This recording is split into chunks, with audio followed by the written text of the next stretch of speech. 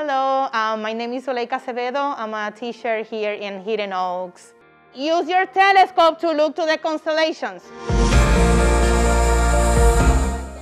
My students are on the autism spectrum disorder. The love and the relationship with them, that is everything.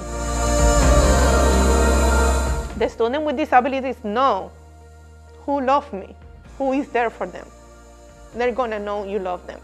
Maybe I don't need to say I love you all the time, but they know. That warms my heart to know that there's that love and respect in this classroom day in and day out and for our, our children.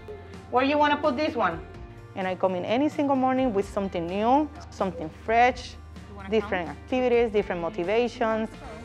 Oh, I love how you leave the space in between the words. I know I'm succeeding when I see my kids, they are able to grab a pencil and write a sentence. They're able to add numbers. For me, I see my kids like a regular kids. I don't see any disability in my students. Support you, we love you, Yeah, I know. Thank you so and we're much. so proud of you. Thank I can't wait to the day where I can just hug you.